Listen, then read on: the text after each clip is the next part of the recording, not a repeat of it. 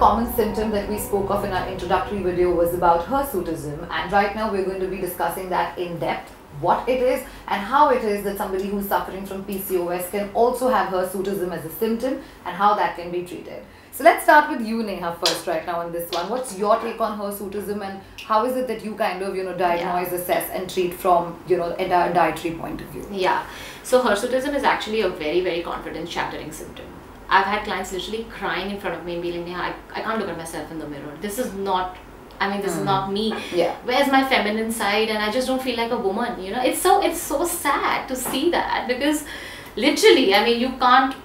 You it's difficult to live with that symptom. Yeah. But you have to understand that it all everything that's happening to you has a root cause, and it all starts from inside. And you need to understand what's happening inside to actually heal the outside, right? So.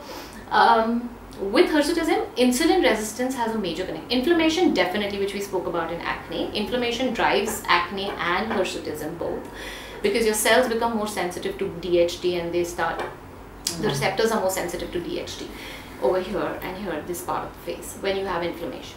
But again, insulin resistance is one factor which drives hirsutism again. So, you know, with your insulin being all over the place and your testosterone being ex excessively high. Now you could be having testosterone coming from your ovaries or from your adrenal glands. So if you're very stressed out, you could be having your testosterone released from the from the um, adrenal glands, which is what DHEAS tells us. And if you have um, PCOS anyways, you're going to have hormones, the testosterone coming from your ovaries as well. So basically your body's, you know, releasing more testosterone that's needed. Mm there's inflammation which is driving the hirsutism and there's insulin resistance which is adding to the problem. So uh, you need to start treating the insulin resistance, obviously removing all the refined stuff that we spoke about and um, doing a lot of uh, good fats, complex carbs, good proteins, lean proteins. So if you're a non-vegetarian, okay, you could do lean protein, but doing more plant-based proteins. So what I've seen in my practice is the more, more the person goes plant-based, the more they're getting the nutrients, the fiber, the antioxidants to kind of heal the gut, to lower the insulin resistance, to cleanse the liver, and then reduce inflammation and get all these symptoms under check. Mm. So uh, the hair growth starts getting finer the more you start treating on the root cause and obviously with external stuff but you have to start working on your insulin resistance and inflammation and um, stress is a very important factor you have to have to have a stress management regime every day non-negotiable. So you know your breath work your pranayams meditation doing something that you love the me time. You know doing something that you enjoy hobby spending time in nature grounding you know just being connected to the earth grass sand just 20 30 minutes a day. Mm. taking sunlight in the morning. Also working out i feel. Absolutely i'm coming yeah. to that. So uh, working out again I'll, I'll come to that. So when you're doing when you're taking sunlight so you're exposing yourself to a lot of prana and energy which nature has to offer you. And that starts healing your body in a lot of ways. There are a lot of electrons in the nature which actually your body absorbs and starts healing you. So that's one thing. Sleep is important. So if you're not sleeping well, you're not clearing the toxins, your body's not detoxifying well, and it's all going to keep recirculating back. Exercise. Extremely important. Extremely yeah. important to manage insulin resistance, inflammation, but then exercise has um, you have to be very careful in PCOS to work out because if you if you're somebody who's very stressed out, who has anxiety, somebody who's really dealing with a lot of emotional and mental issues right now, doing any intense exercise is going to add to your stress hormone, mm. and it's going to stop your weight loss. It's going to stop your uh, healing, and it's going to add more inflammation to your body. So for people like these, for, for women who are coming with a lot of stress already, and you just see the body is a very stressed out body. They have pains, they have aches, there's lots happening inside. So then you tell them to get into more restorative workouts like yoga and Pilates and just go for a walk or swim or do something that your body enjoys in more organic ways. So dance. Mm. It's a very feminine thing. So I tell my clients, I say, you know, why don't you just go and join a dance class maybe once a week? It's so feminine. Yeah. You know, so you, you meet your feminine side that ways and you feel better about yourself. So it's also holistic, it's mind, it's body, it's, you know, eating right. It's basically taking care of yourself. PCOS is taking care of yourself. If you want to heal the hirsutism and acne, you have to actually go within and do everything for yourself that you need externally, internally, taking help of all the professionals who can help you. But it's you. You have to focus on yourself. And uh, with hirsutism, there are certain herbs which help very well. So DHT lowering herbs. So saw palmetto is good, but then there, there are ways to do it. You can't do it for a long time. You have to do it for a short time in certain ways. There's stinging nettle, there's fenugreek. So when you have these herbs coming in, you know, in your body, in, when you're ingesting them either through a good quality supplement or through food, you kind of lower inflammation, insulin resistance, and then hirsutism starts getting better.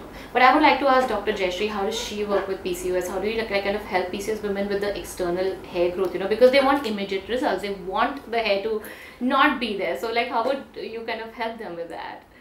So, um, no, first the first part is counseling. You know, Yeah. you have to sit and you know you've put it so brilliantly and so beautifully that it is taking care of yourself. You know, so loving yourself and taking care of yourself is so very important. So that holistic thing. I do ask them to lose weight if they are on the obese side. I do try and counsel them really well on that because if I want to do a laser hair removal on a person who has PCOS, if their BMI is way too high, they will not respond to the laser. Mm. All right. So that again, I throw them back to or send them back to the nutritionist and say, okay, you need to get your weight sorted. Okay, temporary things like shaving and you know epilation, you can do. Okay, shave in the direction of your hair. Do not sh- dry shave. You know, make sure your razor is very clean. Make sure you're always dipping things in hot water and then using them. Use a good cream lather, then shave, and never go this way. Always go this way. You know, those are your uh, quick ways of getting your hair off because it does sort of play with your mind and you lose your confidence and all that. So do these little things. Epilation is very safe. You get you have these very uh, good epilators these days so you can use them. Uh, when you shave you do not get back thick hair. That is a big big myth okay? It's just like you know you've um, not uprooted the entire tree. It's just on the you've top. you've removed it from the top and that's why when it grows you feel that roughness and you feel as if it's growing thick. But actually and when you wax or thread you're removing it from the root and that is why it takes longer to come back and it feels smooth. So that is a myth. So you can do it. But ultimately you will have to a uh, do your medication do your right nutrition do your uh, stress management. And with all that a lot of hair thins and you can start then your laser hair removal. So you have to keep in mind that you know a person who it's sad but a person who doesn't have PCOS may take about 8 sessions and the hair are gone. But if you have PCOS then it is a bit of a struggle and you may need 15 16 sessions. So you may need double the number of sessions. Now even after double the number of sessions your hair will become maybe very thin very cosmetically acceptable and maybe 80% of your hair will go but that 20% will still remain and you may still need to do a little bit of shaving or a little bit of maintenance however if you get your BMI in place, if your weight is in, in order and your stress levels are, you know, under check and you're sort of doing um, things just to keep yourself happy, your response to laser is going to be much better Wow. You know? So that is the reason why again it comes back to being holistic. Yeah. and that's the only way you treat hirsutism yes we also give you medication. Hmm. We Yeah. do give you you know a 5 milligram of finasteride in really resistant cases where nothing is helping you know? And the hair are really thick and coarse you know like a male beard or a male mustache. You know i do see people like that. And then it really you know sort of Crushes you. plays it also, crushes you you know your confidence is gone. And so there you may need to give certain oral medication as well apart from you know the the diet and the other treatment and the laser and so i need to tell you and people that laser is not the only one sure shot way of getting rid of hair coarse hair if you have hirsutism you have to do everything. Yeah, in fact, that's that's uh, so beautifully put up because I have so many clients who come to me and they're like, "Neha, I want to get this off now because I'm getting married or I'm getting engaged and I can't, you know, I can't have this on my face. Can I do laser?" So this was one question I actually wanted to address because I didn't know if laser would work. I, what I know is with coarse hair and if your PCOS is really active at that time, it's not going to work. That much I know, but then I didn't know like, you know, All that was that, that's new to me as well. That once you kind of uh, come down on your weight and you correct your internal health, the laser works really well.